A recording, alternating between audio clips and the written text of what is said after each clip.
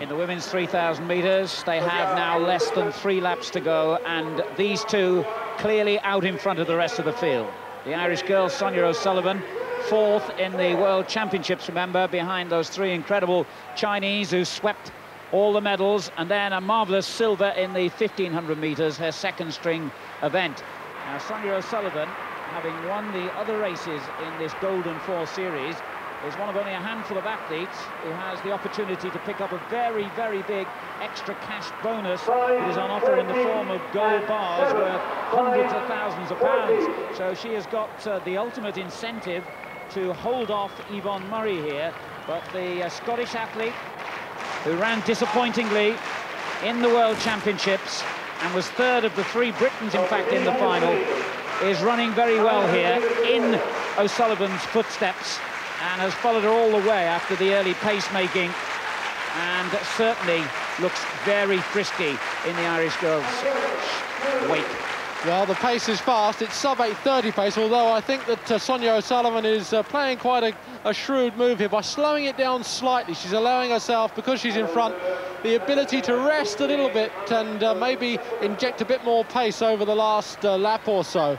So she's slowing slightly, uh, but Yvonne Murray in second, I must say, still looks very, very frisky indeed. And these two have got an absolutely huge lead over the rest of the field. It's uh, something like 80 metres back down the track. You just see them coming around the curve there to the athletes in third and fourth places. Hassiba Boulmerka of Algeria, bronze medalist in Stuttgart in the 1500 metres, and Helen Chepngetich, the African uh, bronze medalist from Kenya.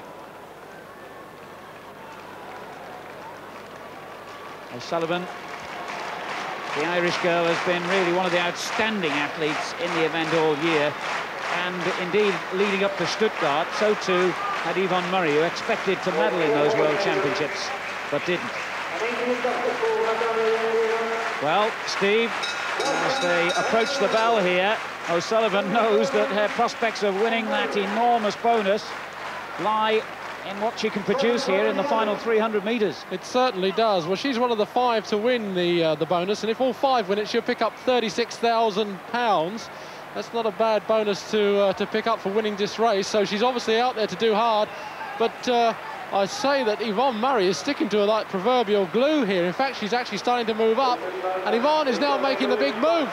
She's gone past Sonia O'Sullivan. Now it's up to Sonia to respond, and she does. I think Sonia was waiting for that, she wasn't dead, she's responded well, and she's coming up to the shoulder of Yvonne Murray. So this is some race we've got now over the last 20 metres.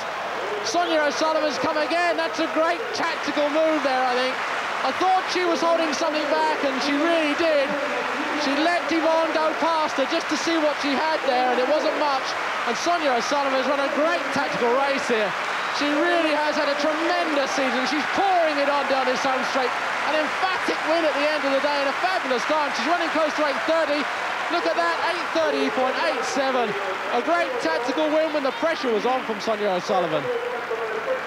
And that keeps her in contention for that big prize and a fine run by Britain's Alison Wyeth in third place with Annette Peters of the United States fourth. O'Sullivan now must at least get a share of the gold bars on offer.